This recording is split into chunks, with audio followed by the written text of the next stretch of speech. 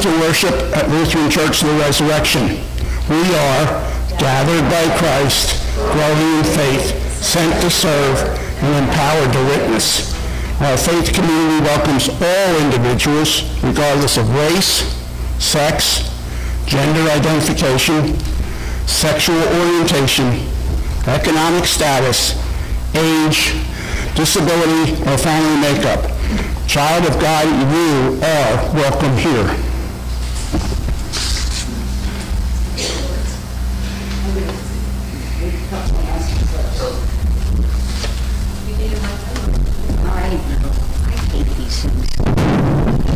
All right, everybody hear me? Yes. I probably can hear me without this. All right, couple of announcements. One, the reason why you see me here, and I'm going to be pecking away at the keyboard, um, is because Betty fell last night.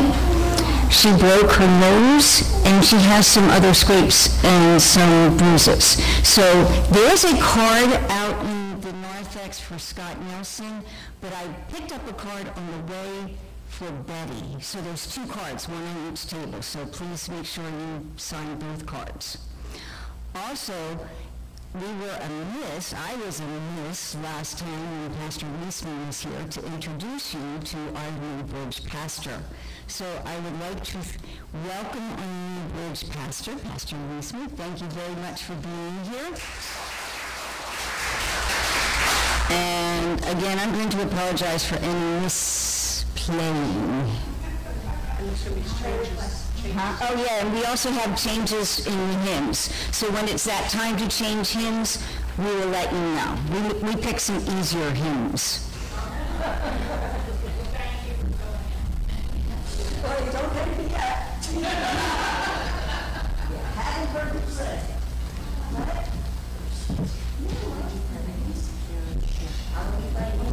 Um, Are there any prayer requests this morning? Bob? Happy birthday, Carla. Yes, Lois.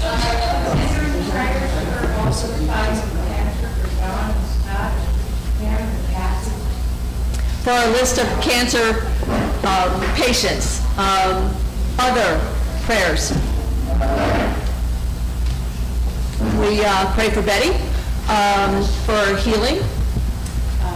My father-in-law's in, in hospice. So for Robin's father-in-law, who is in hospice. Others, For safe travels over the holiday. Fourth of July is coming up, a lot of people traveling. So safe travels for all those that are traveling. Any Thanksgivings this morning? I will give a Thanksgiving. Last weekend, we threw my mother-in-law a 90th birthday bash. So we wish Peggy Varga a happy 90. Um, Any others? Seeing none? Esther?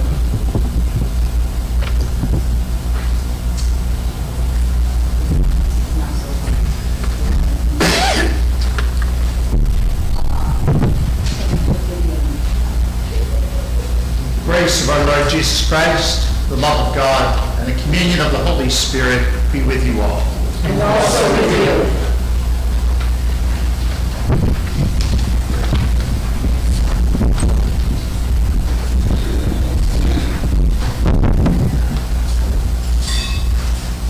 This time I'll ask uh, will Howard Spencer, Paula Wilhelm Walter, and Nellie Plummer please come forward. And then I'm going to ask any other members of the Stephen's ministry to come forward.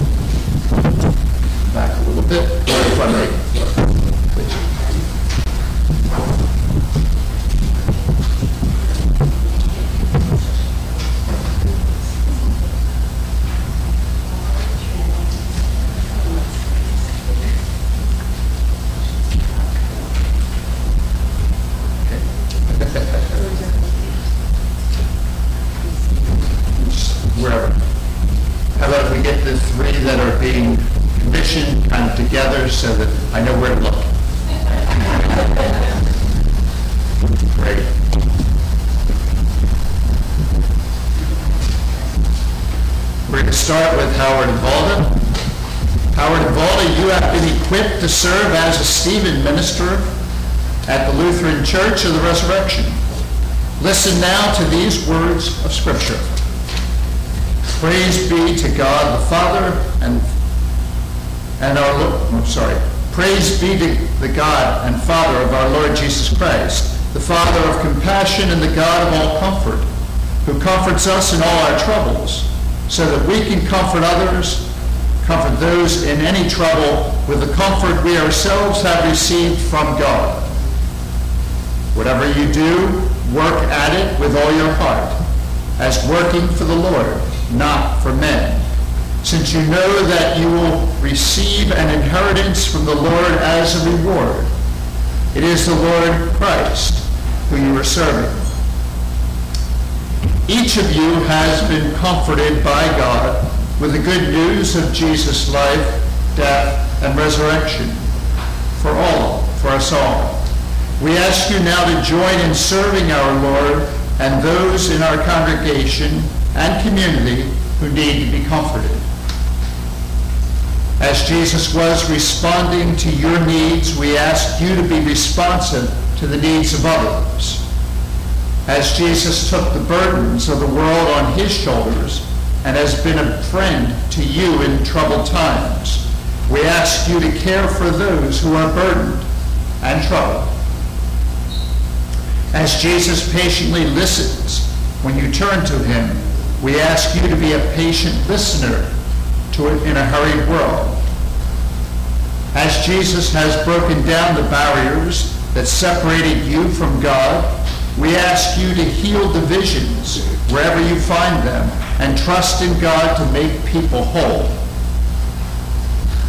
As the Spirit of Christ has given you gifts for service, we ask you to use your skills, talents, and prayers to help those people you serve. As Jesus has shown his care to you, we ask you to help this congregation grow as a caring community through your own caring ministry. As Jesus has revealed his presence to you through faith, we ask you to share your personal experiences of faith with those around you so that they too may celebrate the presence of Christ in our world today. Now, are you prepared to meet those requests that we ask of you? If so, respond yes with the help of God. Yes, with the help of God. Are you prepared to nurture the skills you have learned and use them in service to others to support, encourage, build up, and comfort people in their needs? Yes, with the help of God. Are you prepared to serve as Stephen ministers at LCR? Yes, with the help of God. Every Christian is called to care for others, and our Stephen's ministry is a powerful way to live out that care. Today we recognize our newest Stephen's ministry leader, Nellie. And now, I'm not going to invite you to step up, you're already here. Nellie, you have been trained as at a Stephen Ministry Bridge Leaders Training Course and have been asked to serve as a Stephen leader at LCR. You are a gift from God, helping lead this ministry of equipping and caring. Will you assume this ministry in confidence that it comes from God? If so, respond yes with the help of God. Yes, with the help of God. Will you nurture the skills you have learned and use them in service to others, to support, encourage, and build up people, and to enable excellent care while trusting in God's healing? Yes, with the help of God. Members of LCR, will you open your hearts to the ministry of this Stephen leader and pray for her in our service? If so, answer yes with the help of God. Yes, with the help of God. Now we ask you, members of the Lutheran Church of the Resurrection, to open your hearts to the ministry of all of these people and to pray for them, that they may be effective servants of Christ.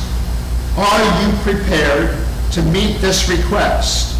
If so, answer yes with the help of God.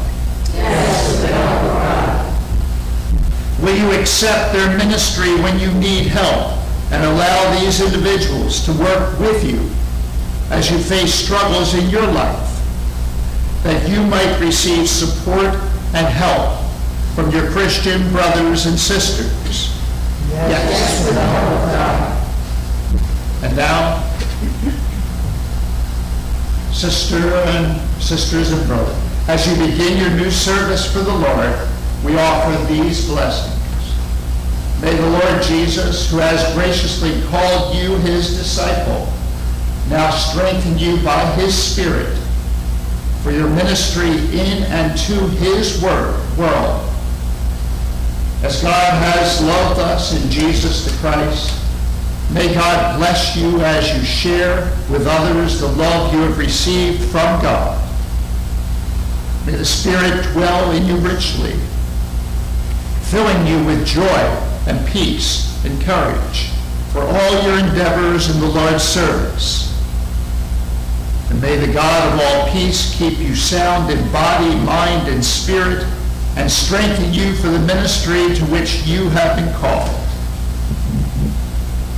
Because you have promised faithfully to serve the Lord Jesus and his people as Stephen ministers and leader, I commend you to the care and guidance of the Holy Spirit as you in turn care for others.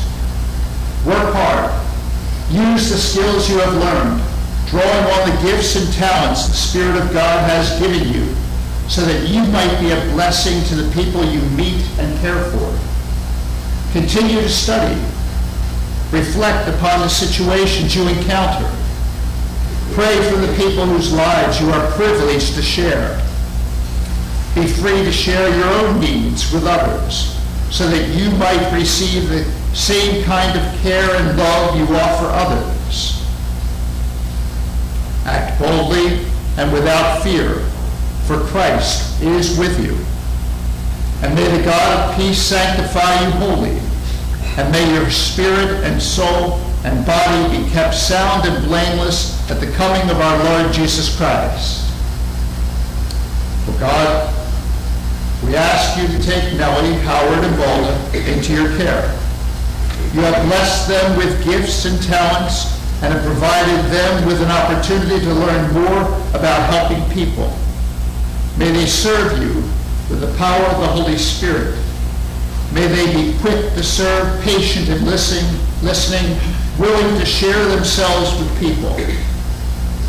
Give to us thankful hearts for them and show them in times of stress and satisfaction a special measure of your mercy and joy. Keep them strong in the faith and that you have given them for the sake of Jesus who cares for all of us in every way forever. Amen.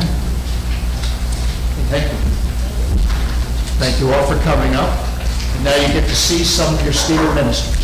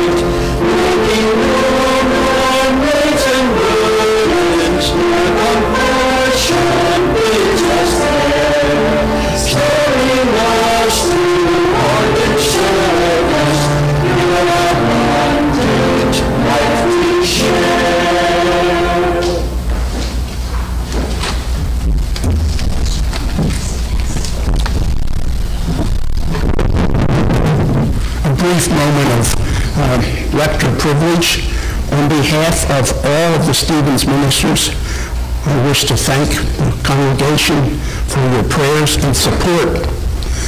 In each pew in front of you is a card that will give you guidance and a method for request should you need any services from Stephen's Ministry. Thank you. Let us pray. Almighty God and merciful, we implore you to hear the prayers of your people.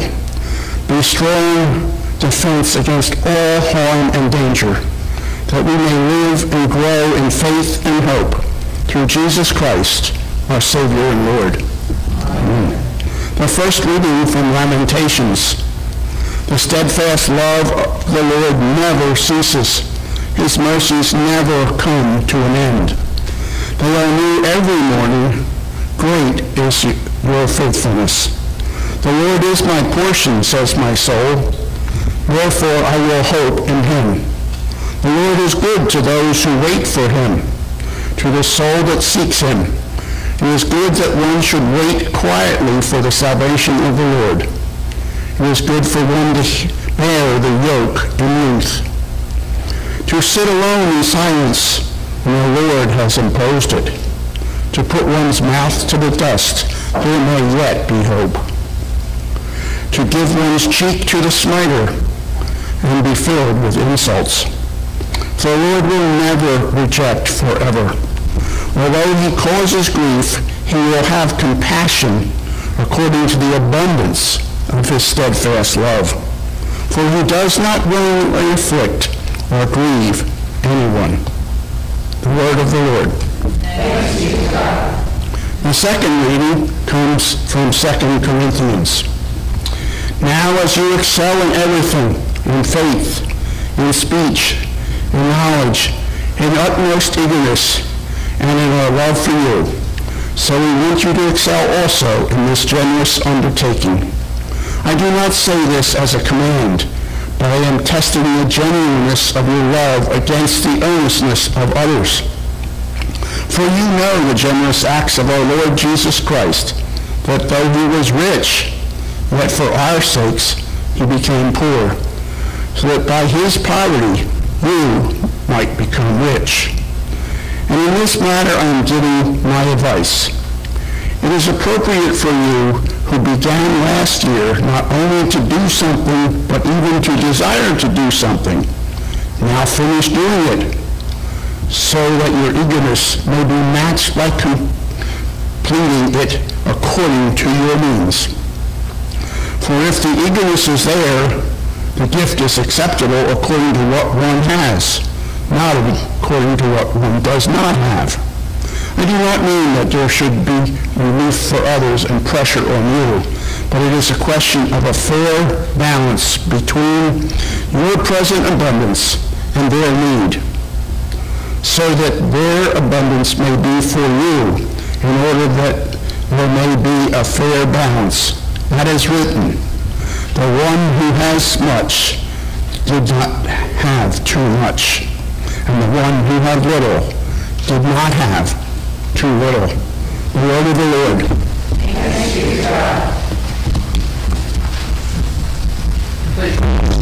The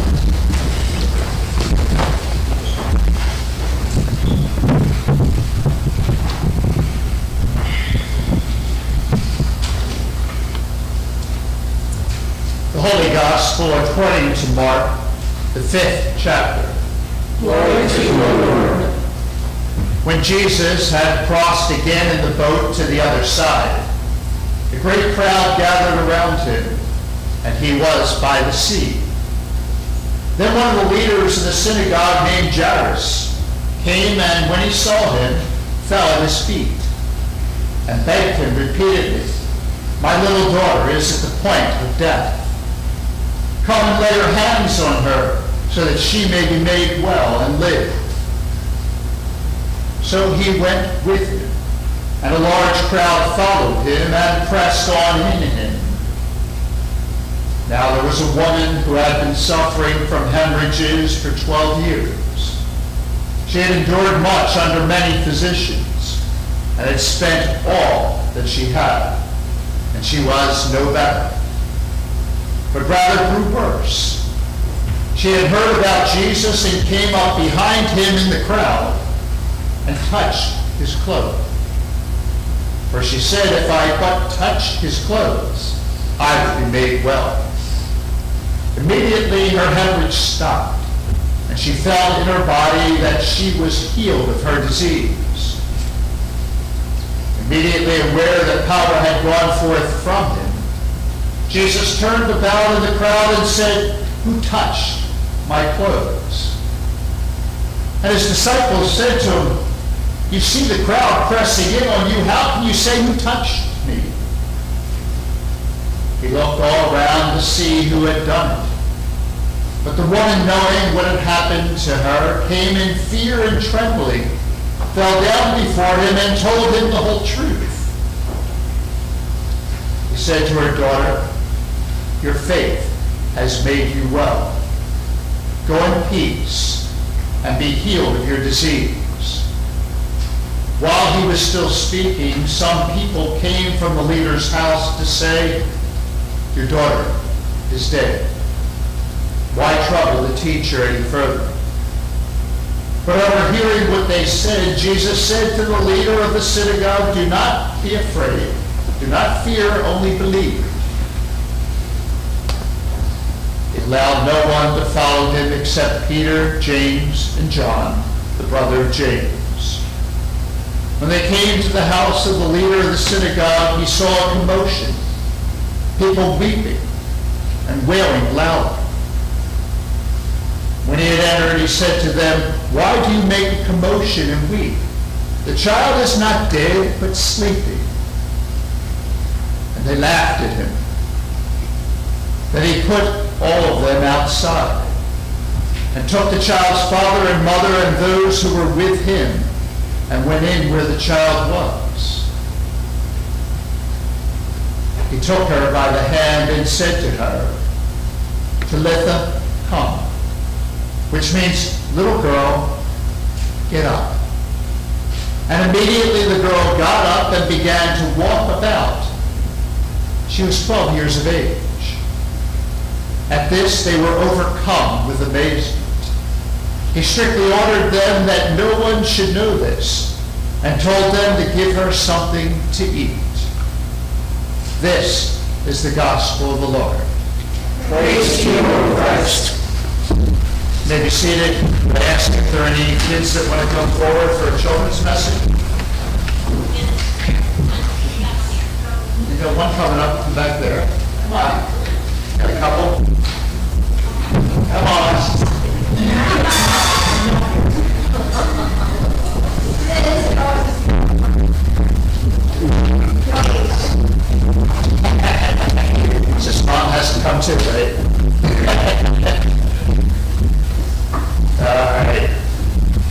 Doing today?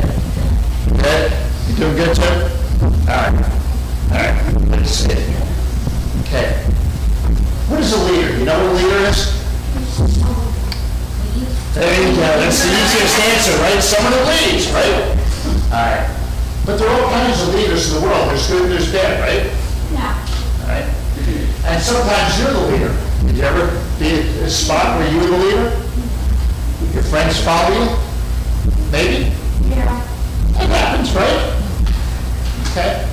Younger brother follows you.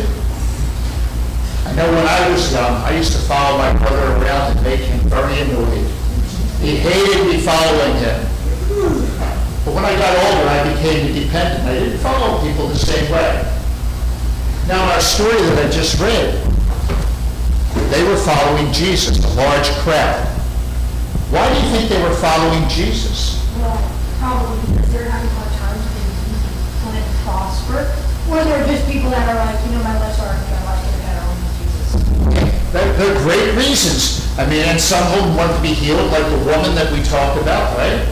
And then Jairus came, he wanted his daughter to be healed, so he went to Jesus. So people came to Jesus sometimes just for what they wanted. But also sometimes people came because they listened to what he said and watched what he did they believed that he was someone very special. Now, I'm not going to ask you if you think Jesus is special. I'm going to believe that you think that because you're here. Okay? But Jesus was very special. Not only did he heal people, but he taught them. He preached them messages and sermons like I'm doing to you. Okay? And he made, went out of his way to forgive people of their sins to make them happy. And that's a good thing, right? Okay. So remember when you're following somebody else, that people follow Jesus. And when people start following you, remember it's a really strong responsibility because you don't want to lead them in the wrong direction, right? And then there's some people that just want to. That happens, that's correct. And you don't want to follow those people, right? And you don't, and you don't want to be like. That's exactly right. You want people to follow you to follow you for the right reasons and to have good things happen. Right. Well, thank you for coming up.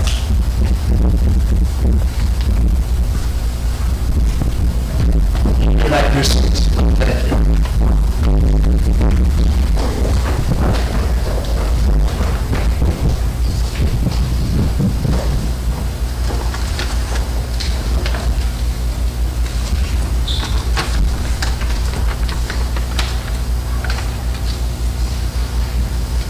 There are times when I'm preparing a sermon that my mind goes in odd directions. And I end up putting together what's called a narrative sermon, which means it's a sermon where I talk from the perspective of somebody else. And so what I am going to tell you is that I am going to be Jairus today. And that's if you'll allow me to be that today. At the time when I first set out to meet Jesus, I was a leader of my community synagogue. I will never forget that day. My daughter was at the point of death. She was barely breathing. She would not even open her eyes. I had told my wife that I had heard of the man of God, Jesus, the teacher who is credited by many people with a variety of healings, miracles, but whom we had been warned by the high priest to have no dealings with. The high priest believed him to be a false teacher. I wanted with all my heart to get help for my daughter. And yet I knew that to go to Jesus meant going against the leader of our Jewish faith. I told my wife all of this. But how could someone not of God miraculously heal so many people? God, I had to include, conclude, must be with him. And so I decided that I must go to find help from him. So out I went to find Jesus. When I found him, he was surrounded by a large group of people. Some I recognized from my synagogue. For me to ask Jesus for help would be to open myself up to the criticism of these members and to risk my standing in the synagogue. But of course, those in the crowd were not exactly moving away from Jesus themselves. They were listening to his words intensely. They were defying the high priest also. At that moment, though, none of that mattered. I couldn't wait. My daughter couldn't wait. She was dying.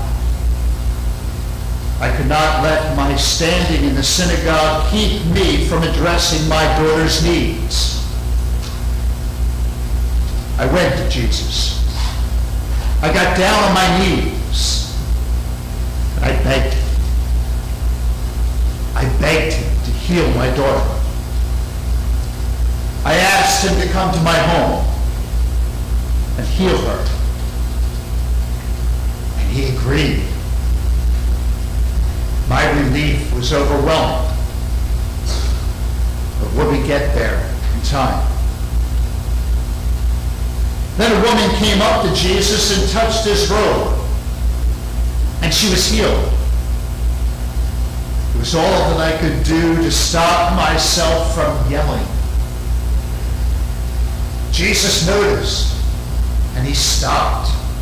He stopped to question who had touched him. Nearly lost my patience. The crowd had been pressing in on all of us. Lots of people were touching Jesus' cloak. Even his disciples told him so. But he stopped there. All I could see was my daughter's face becoming ashen and her body turning cold. Sorry. I understand that the woman had endured great suffering. And I was happy that she had been healed. My daughter didn't have that much time. And Jesus didn't seem concerned. He began talking with her. Jesus told her that her faith had made her well. I kept thinking, Jesus, you have to hurry. Please hurry. And then my worst fears were realized. Some people came from my home to tell me not to bother the teacher any longer. My daughter was dead. I was overcome with grief. I was angry. Angry at the woman. Angry at Jesus. Angry at the delay. But Jesus heard the messenger as well. And Jesus turned to me and told me not to fear, to only believe. And no strength to question. All I wanted was my daughter to be well. I had to believe. At that point, Jesus sent away the crowd. When we continued to my house, it was just Jesus, myself, and three of his disciples, who I would later learn to be Peter, James, and John. There was something about Jesus that gave me hope. He moved forward without even a hint of hesitation. No doubt. Wanted so much to believe. Maybe I did believe a little. Jesus surely moved with confidence. When we got to my house, seeing the people everywhere weeping and wailing loudly, I wanted to grieve with them, cry with them. But if there was to be any hope, I needed to hold myself together. And then Jesus told the mourners that my daughter was just sleeping. They laughed at him as he put him outside. And then Jesus, my wife, and I, and the three disciples alone went into where my daughter was. Nothing mattered. Not my standing in the synagogue, not the feelings of the mourners, not the world around me. All that disappeared. Nothing mattered but what Jesus would do, my wife, and our daughter. With no fanfare, Jesus went up to our daughter, held her hand, and said, Talitha cum. Jesus told her simply to get up, and she did. She got up and started to walk around. And my wife and I looked at each other, and we hugged each other, and we reached out to our daughter. We held her as we never did before. Her fever was gone. Her eyes were clear. She felt ready to go out and to play with her friends, ready to do her chores around the house. I fell again to my knees, tears in my eyes. I praised God. I thanked Jesus, kissing his hand and expressing my thanks again and again. As low as I had felt moments before, I now felt as though I could walk above the clouds. And then, Jesus told us something strange. He told us to tell no one what had happened. How? Then I thought, Jesus did say that she was asleep. I'll just have to tell people that. She was asleep, and he woke her from sleep. But I knew. I knew that there was much more to what had happened than Jesus just waking up our sleeping daughter. As Jesus told me, I said nothing to anyone other than Jesus woke my daughter from her deep sleep. The high priest was told about my disobedience, how I had reached out to Jesus. And I lost much of my stature in the synagogue. Didn't matter. My daughter was well. Our family was at peace. At least that is until after Jesus was arrested by the high priest and his men.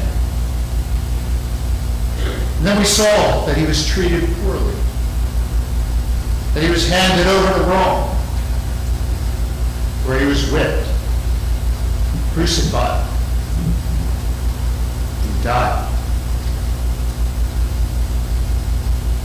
And when I heard it said that Jesus had been raised from the dead,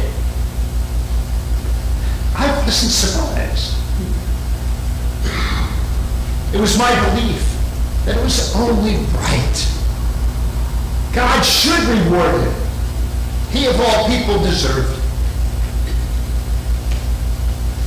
I could no longer hold my tongue. How could such a loving teacher of God be treated with such contempt? I needed to tell everyone the whole story of my daughter's healing.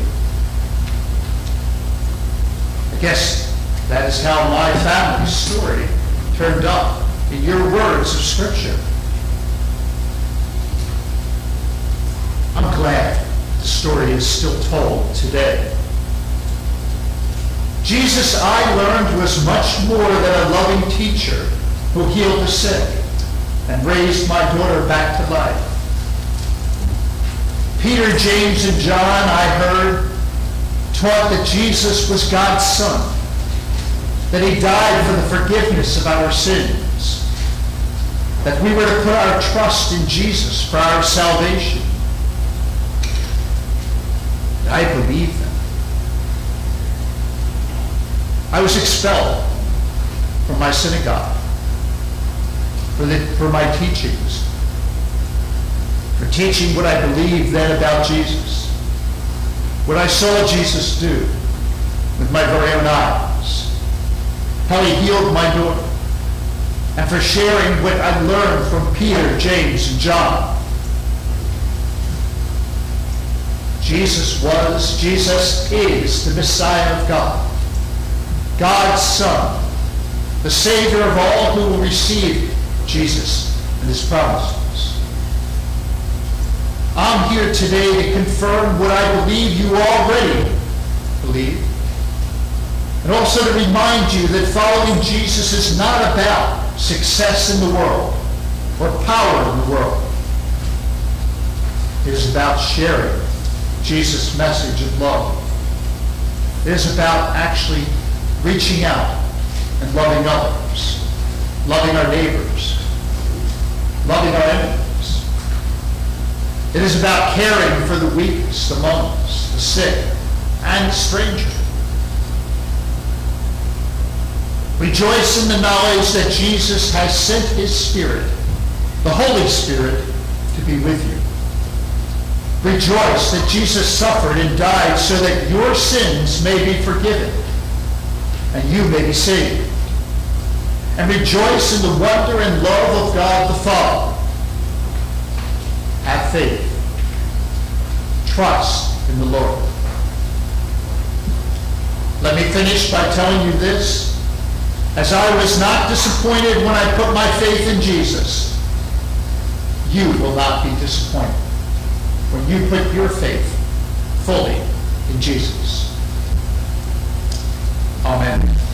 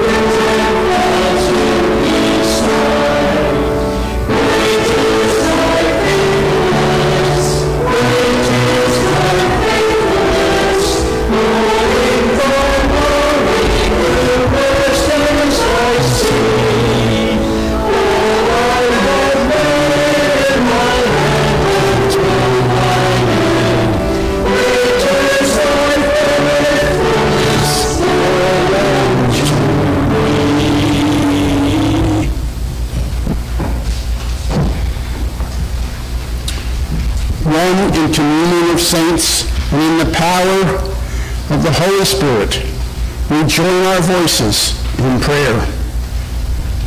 God of abundance, you fill your church with a multitude of gifts.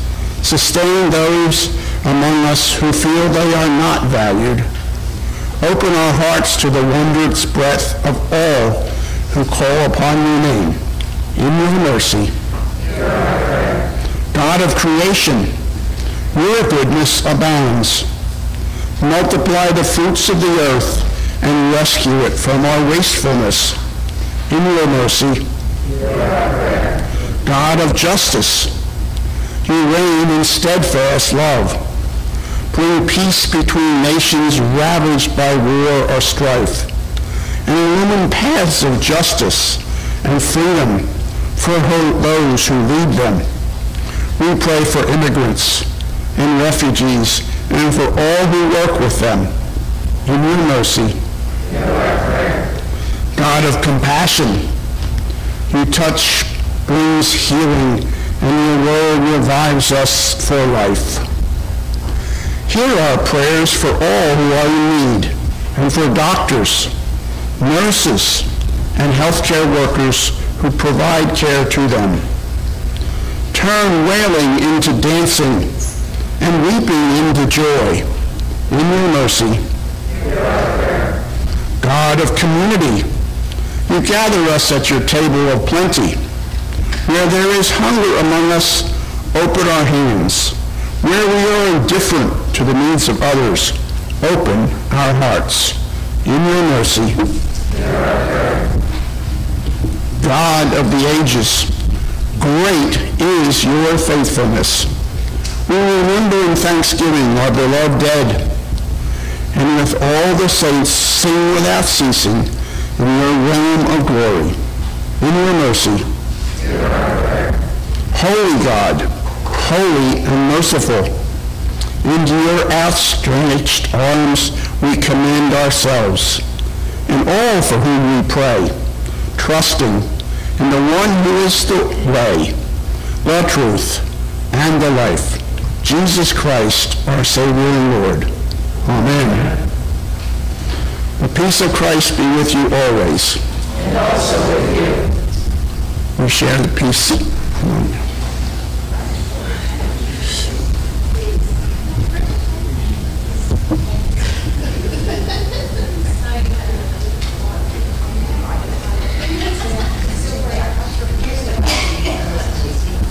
We thank you for your continuing faithfulness in giving generously and take the time here and now to lift up God's goodness and all God's good gifts. Offerings may be made through the offering plate at the head of the aisle, by mail, or electronically, including the online giving platform, tithe.ly. We thank you for supporting our mission, our community outreach, and the mission of the larger Lutheran Church. Let us pray. Jesus, bread of life, you give us your very self and call us to share our gifts. Gather what has been sown among us and strengthen us with your grace. Make us to be your body for the life of the world.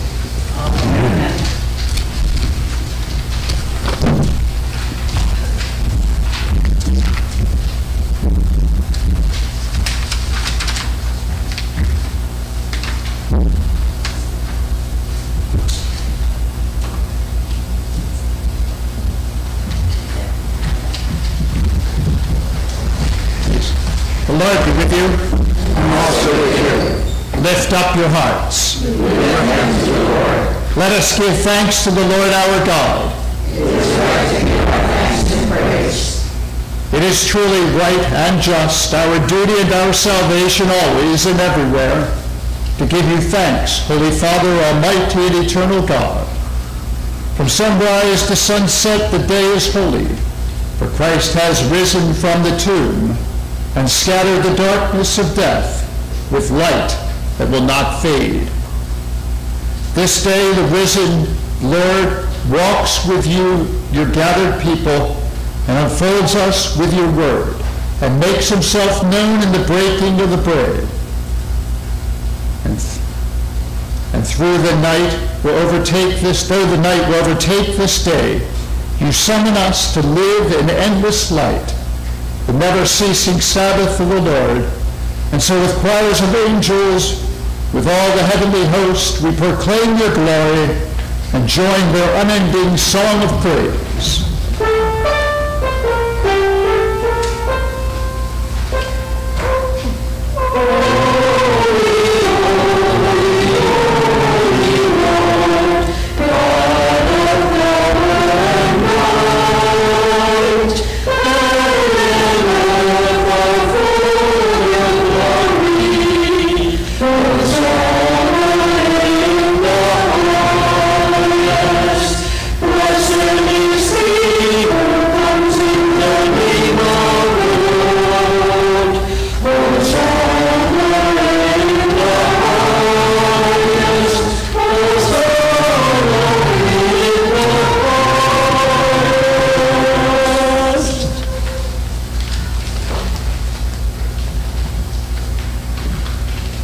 Night in which he was betrayed, our Lord Jesus took bread and gave thanks, broke it, and gave it to his disciples, saying, Take and eat. This is my body given for you. Do this for the remembrance of me.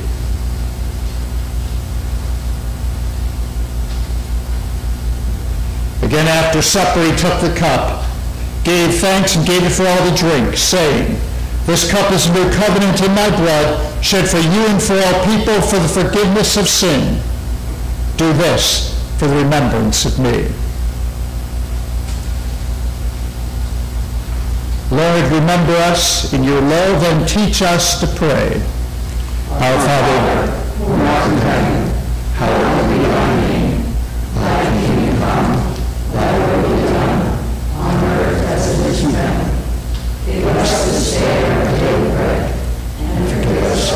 our trespasses, as we forgive those who trespass against us. And lead us not into temptation, but deliver us from evil.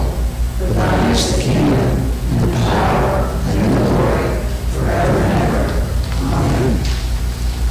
Christ has set the table with more than enough for all. Come. And before we begin the music, I do want to also invite those who are online to get their bread and their wine. And so I say to them first, take and eat the body of Christ given for you and take and drink the blood of Christ shed for you. Now,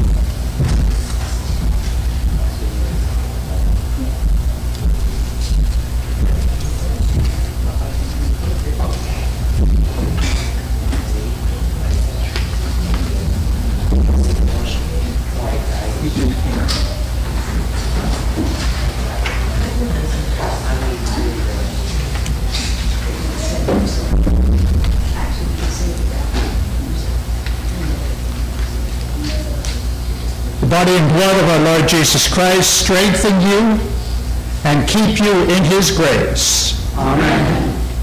Let us pray. Shepherding God, you have prepared a table before us and nourished us with your love. Send us forth from this banquet to proclaim your goodness and share the abundant mercy of Jesus, our Redeemer and friend. Amen. The blessing of God who provides for us, feeds us, and journeys with us be upon you now and forever. Amen. Go in peace. You are the body of Christ. Thanks be to God. Our sending hymn, we've changed it. Our sending hymn will be in the Blue Book, number 650.